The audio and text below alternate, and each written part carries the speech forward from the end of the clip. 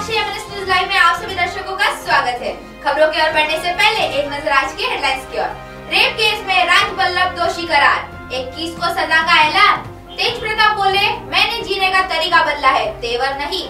आलोक नाथ की जमानत याचिका खारिज। अब खबरें विस्तार ऐसी नालंदा में 2016 में एक नाबालिग के साथ दुष्कर्म मामले में आरजेडी के निलंबित विधायक राज बल्लभ यादव समेत सभी छह आरोपियों को दोषी करार दिया गया। पटना में अदालत ने शनिवार को यह फैसला सुनाया। पटना आरजेडी, सुप्रीमो, लालू यादव के बड़े बेटे तेज प्रताप यादव, इन दिनों अपने परिवार से खासे नाराज़ चल रहे हैं। अपनी पत्नी से तलाक की अर्जी देने के बाद वो वापस घर भी नहीं गए। लेकिन दूर से ही ट्विटर के ज़रिए उन्होंने अपने इरादे ज़ाहिर कर दिए हैं।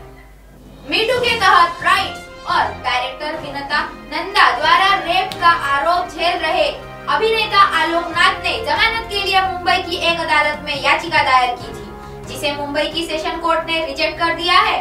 तो खबरों में आज के लिए इतना ही। एमएनएस न्यूज़ लाइव देखने के लिए आज प्ले स्टोर से एमएनएस हिंदी ऐप डाउनलोड करें और हमारे चैनल को सब्सक्राइब करें। तब तक के लिए धन्यवाद।